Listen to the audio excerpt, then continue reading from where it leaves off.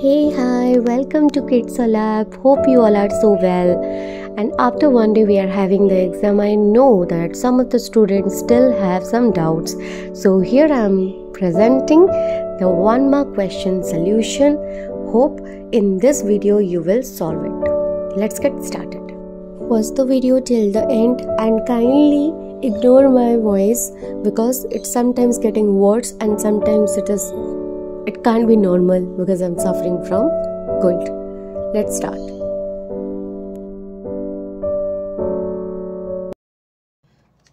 So let's discuss some one mark question.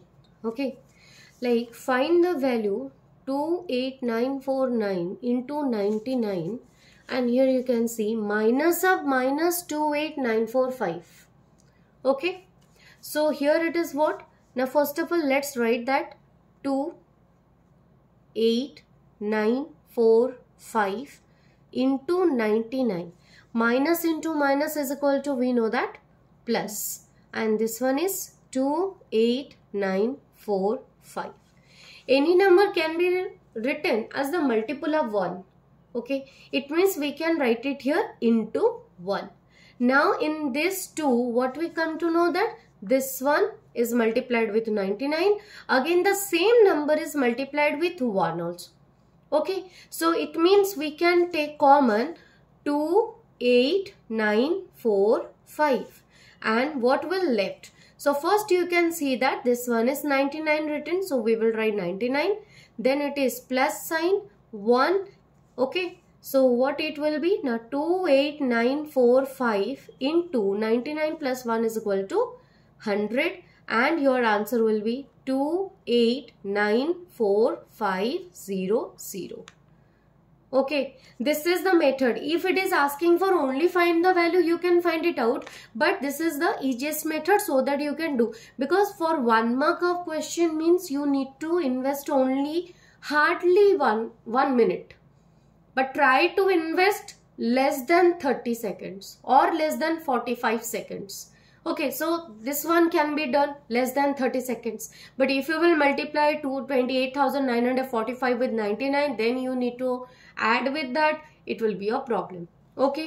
Now similarly question number 2 determine the integer whose product is minus 1 is 78 means we will write an integer with whom the product with minus 1 if you will multiply with that minus 1 we will get 78 whatever you will multiply with 1 you will get the same number. It means the number should be 78 but here it is minus sign. So obviously this one also minus 1 it means sorry minus. So it means what is the number? The number is minus 78 next find the difference. Find the difference of what? 8 minus 5 by 9 in one side you can see that this one is the whole number and the other side it is the fraction. So what we will do the it's a whole number means its denominator is 1. So now the LCM of 1 and 9 or 1 of any number is the same number. Okay and this 9 will be directly multiplied with the whole number. So 9 is a 72 minus 5 is equal to how much? 67 by 9. Okay. So it means you can write it here 7 whole 4 by 9 because 9 7 is 63 plus 4 is equal to this one. Question number 4 is asking what should be added to 5 whole 3 by 7 to get 12. When this type of question will come, kindly read the question once again. What should be added means this one is a blank should be added because you people have also learned the simple equation how to write the uh, numerical expression to the statement and statement to expre algebraic expression that we know. So what should be added to 5 whole 3 by 7 to get 12 so what should be number? The whatever is added here other side it will be subtracted. So let's do that. The number is what? Now 12 minus 5 whole 3 by 7 because what the same one rule okay now we will convert this mixed number to the improper fraction So it is 12 minus 7 5s are 35 plus 3 is 38 by 7. Again the same type of question comes. So this time I will not write to divided by 1. Directly we will do. So here the LCM is 7. 12 7 minus 38. And 84 minus 30 is 14 minus 8 is equal to 6. 7 minus 3 is equal to 4. 46 by 7 that 6 whole 4 by 7. Okay, there is some technical issue, so not able to record that one. So the question was, express the following fraction as decimal 25 whole 1 by 8. First of all, convert this mixed number to the improper one. That is 25 8s are 200 plus 1 is 201 by 8. So there are three methods. The first method is directly divide this 201 by 8. So what is that? 8 2s are 16 10 minus 6 is 441. 8 5s are 40. Likewise, you divide the numbers and 1 is the remainder. So, when you uh, come to know that anything, any number is the remainder, then put the decimal point in the quotient as well as in the dividend and also the decimal zeros because in the decimal point in the right side of this decimal point there will be no value of this zeros. Okay so we can put them. So now it is 0 okay and it is what 8 ones are 8 10 minus 8 is equal to 2 and 0 20 8 twos are 16 10 minus 6 is equal to 4 then 0 40 8 fives are 40 and here you got the answer 25.125 okay so if you will do the, what is the other method? 201 by 8. So we know that with 8, if you will multiply 125, we will get what? Let's see. 8 5s are 40, 0 whole 4. 8 2s are 16 plus 4 is 20, 0 whole 2. 8 1s are 8 plus 2 is equal to 10.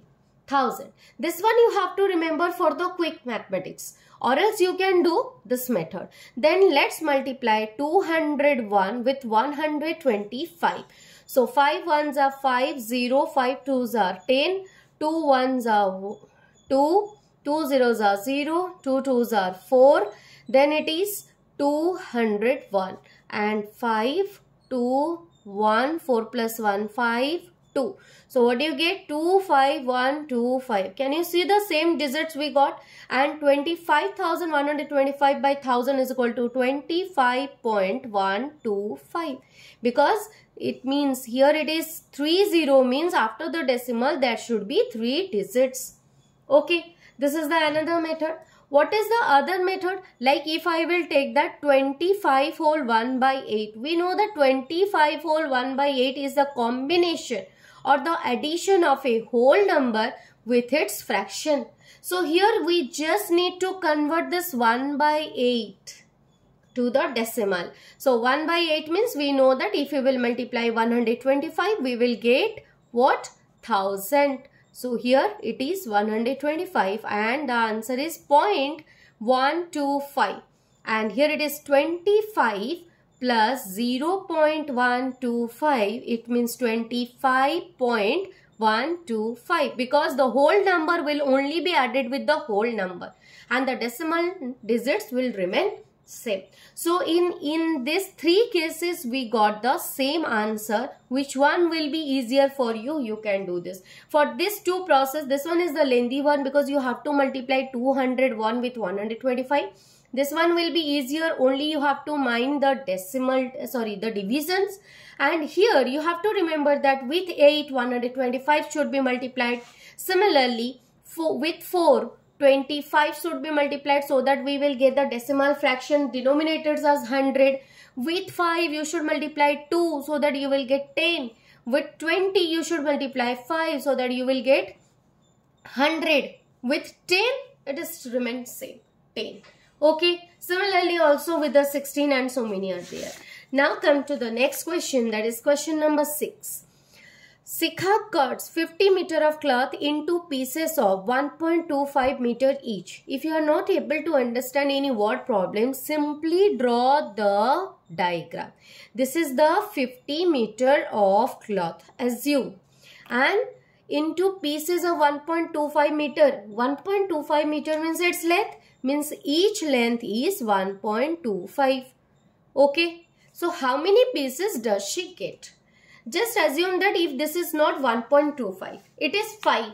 Then each piece will be 5 meter means how many pieces? Now 50 meter cloth cut with the 5 meter of this length it means 50 divided by 5 10 pieces you will get okay so here also we will do the same that 50 meter division 1.25 meter it means 50 meter division 125 by 100 meter which means 50 meter division sign will convert to the multiplication sign. Reciprocal of this one is 100 by 125 okay and this meter meter will be cancelled out.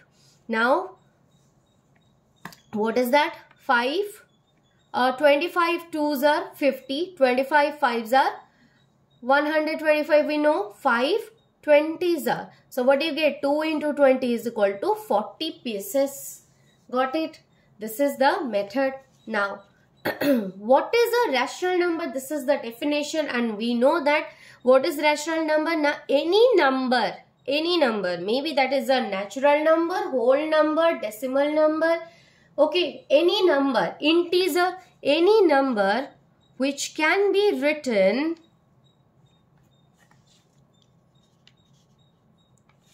in the form of P by Q when where Q not equal to 0. Any number which can be written in the form of P by Q where both P and Q are the integers but Q not equal to 0 because 0 is also an integer. Both should be integer, maybe positive, both should be negative, only P can be positive, Q can be also be positive, negative, okay. Next, the next question number 8. A 0 is a rational number?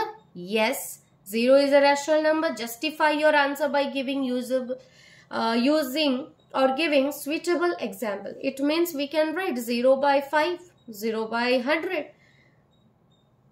Because according to the definition of rational number, Q should not be 0. But P can be 0. Okay, so P is here 0 and you can take Q as 5, 100, something else. Next, every rational number is a whole number. State true or false. Every rational number is a whole number. No. But all the whole number are rational numbers. So this statement is what? False. If m is a common divisor of a and b, then a by b is equal to a division m divided by dash. So obviously if m is the common divisor, it means and it is divided, div divides a. So definitely it will divides also b. So answer is b division m. Next, the standard form of minus 1 is what? Minus 1, the same. Standard form this one.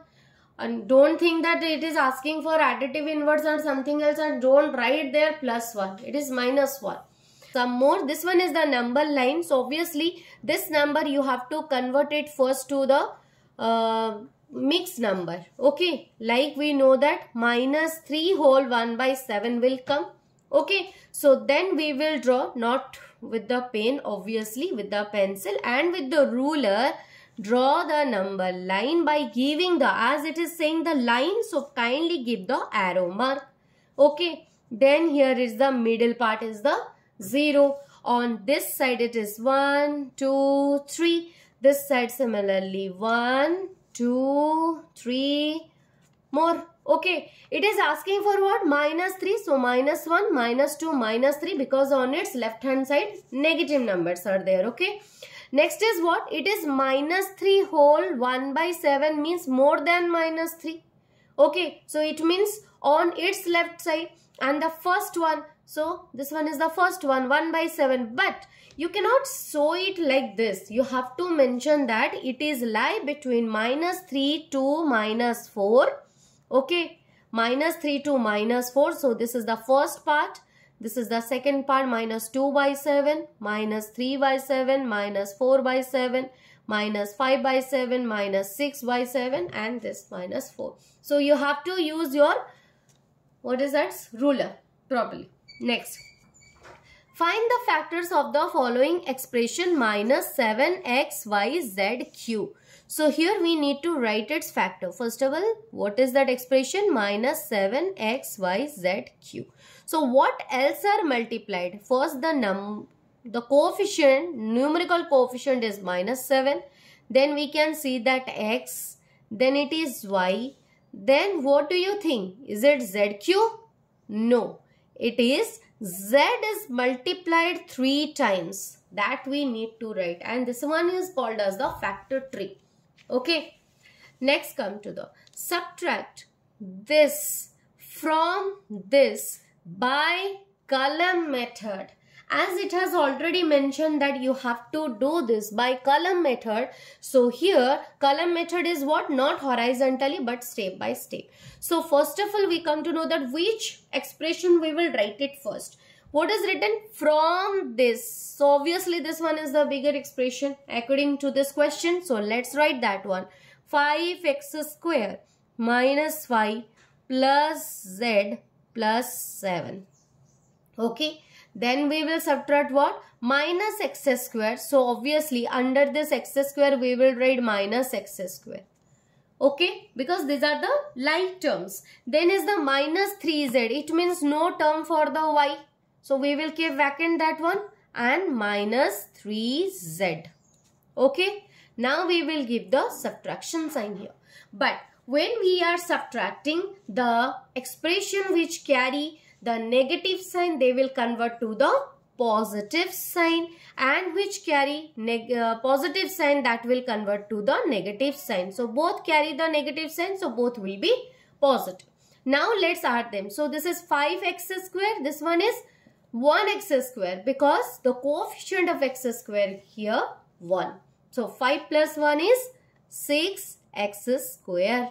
Then it is minus y. Simply it will come down because no sign is here. Then it is plus z plus 3z. It means plus 4z. And this is plus 7. So this is the answer. Okay. For this one mark also, if you will not do this by column method also, you are not going to get the mark. So kindly mind that one. Okay. Okay. Now the next question, question number 7. Place the last two terms of the following expression in parenthesis. It means inside the bracket preceded by a minus sign. Before that the minus sign will be here. And the last two terms it is asking. So 7 whole 3 by 5x will remain same because this one is the first term. And then we will write minus and then we will write bracket. And inside the bracket these two terms will be there. Now how will you write this? So let's see that answer should be your minus 3z and outside it is minus. So with minus what you will multiply so that you will get minus that is plus. So here it is 3z. Okay. Now come to the next one. It is written plus 5y but it is minus. With minus what you will multiply you will get plus that is minus. So it is 5y. It means when you are taking common negative sign, those who are negative, they will be positive. Those who are positive, they will be negative. The sign will change there. Okay, if you don't know the uh, fundamental also, this is the trick. If you will take negative sign as a common, then minus 3z inside the bracket will be plus 3z and plus 5z will be plus 5y will be minus 5y. Now, the next question. Verify by substitution. It is asking that verify by substitution. Do not solve this one. You have to verify this, that one. It means it is written that that x is equal to 8 is the root of this. So what is that? Half of x means x by 2 plus 7 is equal to 11. This is the equation. And this equation, this part is called what? Left hand side. And what is this part called? Right hand side. Okay, so by substitution means instead of this x, we will put the value of 8 and we will see that whether LHS is equal to RHS or not. So first of all, write the equation x by 2 plus 7. Now put the value 8 by 2 plus 7. We know that first the division process will be done according to BODMAS rule. Okay, so first division, then addition. So 8 by 2 is equal to 4 plus 7 is equal to 11 which is equal to RHS. So what you come to know that LHS is equal to RHS hence proved. X is equal to 8 is the root of this equation. Got it? This is the method only you can do. Now the question number 19. Find the value of X. So here you need to solve this. No LHS RHS. What is that? Now 3 whole into X plus 2 is equal to 7. So here we can see that clearly A into B plus C and this one is the distributive property of multiplication over addition. So let's do that. We have to give the implied sign because this implied sign refers to such that. Okay. So now this 3 will be multiplied with the x, 3x plus 3 will be multiplied with the 2 3 2s are 6 is equal to 7. Now what? Whatever is added. Okay. Do not directly go to the, uh, what is that? Uh, variable. Okay. Because with the variable coefficient is multiplied here. So first of all we check that what is added and subtracted. First separate that one. So as 6 is according to the transpose method 6 is added so other side it will be subtracted.